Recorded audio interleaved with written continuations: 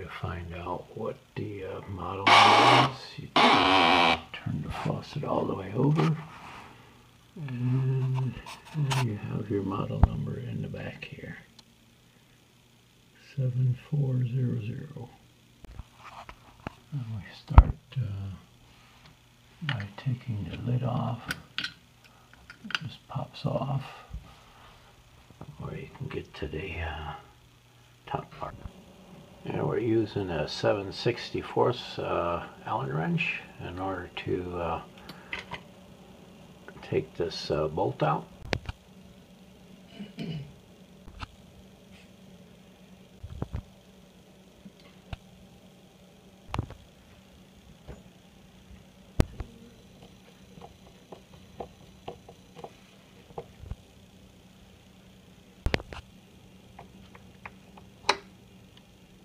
Now I just gotta unscrew this top piece.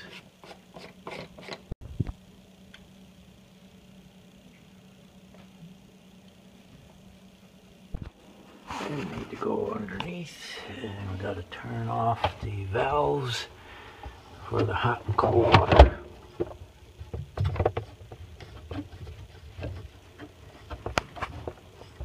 That's one that goes to the dishwasher. There's the other one over there.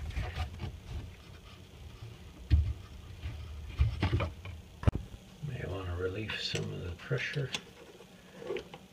Put the screw in. Lift up on it. Make sure you turn them both hot and cold. And you get this thing to, to drain out a little. And we need to remove this uh, little washer. And then we're going to take and loosen up this uh, nut there.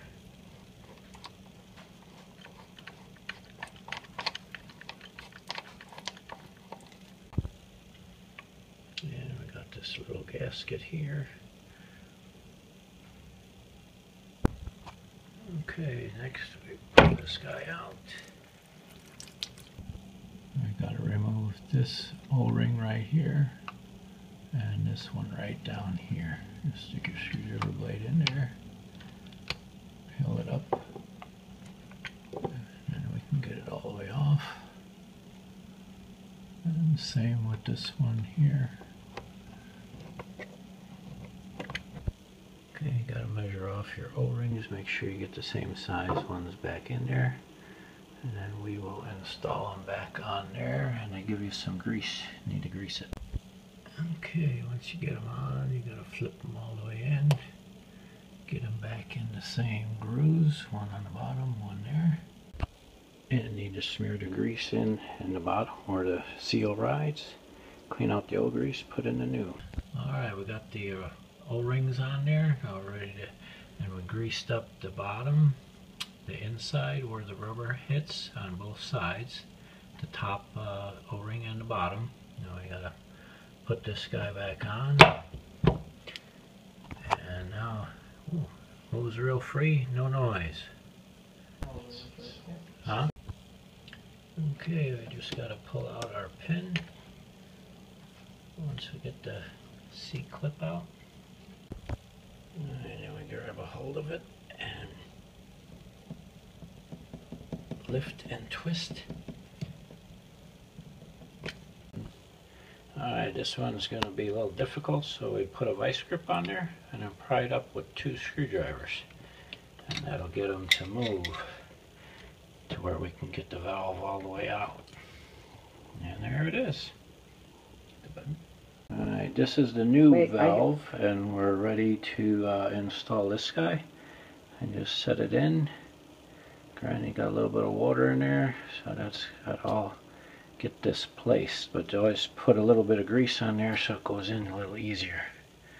And there it is, he's in there. And next thing we slide in our C-clip.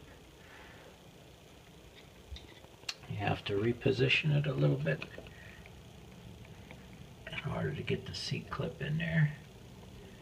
And once we get the C-clip all the way in, now make sure it's all the way down.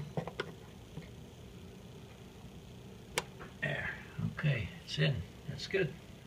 Okay, this is the uh, ring on the top. We got a little bit of grease on our finger and we're to pat it in where it's to ride. Go all the way around the whole perimeter of the gasket there. That's what's going to be sliding. And then we stick that guy right on top of there. And we stick in our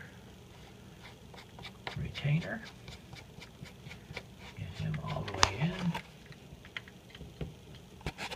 Oh, that's all right. Is it go? Okay, then just snug this up. You don't want it too tight because otherwise it's not going to work. Okay.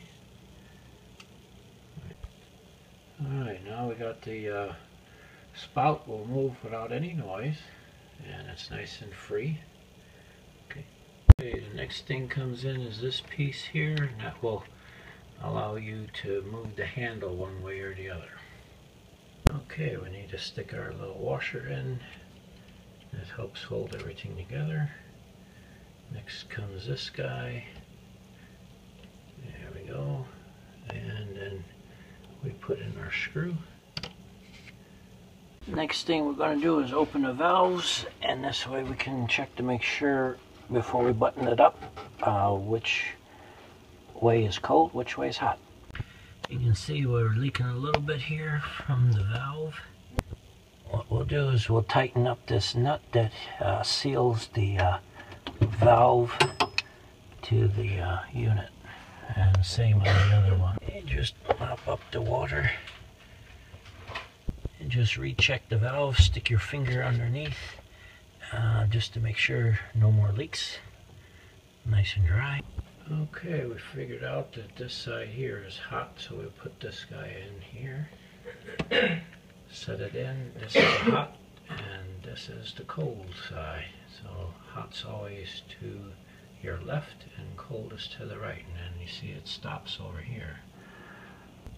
Now we gotta put in our screw, tighten it all the way up, and then we'll be all set.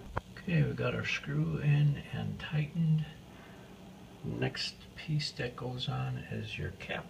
It goes over the whole mechanism. You have to turn it on a little bit just to get it to tighten up on there. There you go. And this is just hand tight. Next thing that goes on would be the valve. You want to clean that up a little bit. Okay, I got that cleaned up. That there just sits right on top. And we have to get our Allen Oops.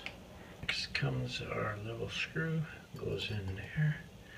Tighten that guy all the way up, but don't over tighten it, you might break it off. And then we get it with this guy.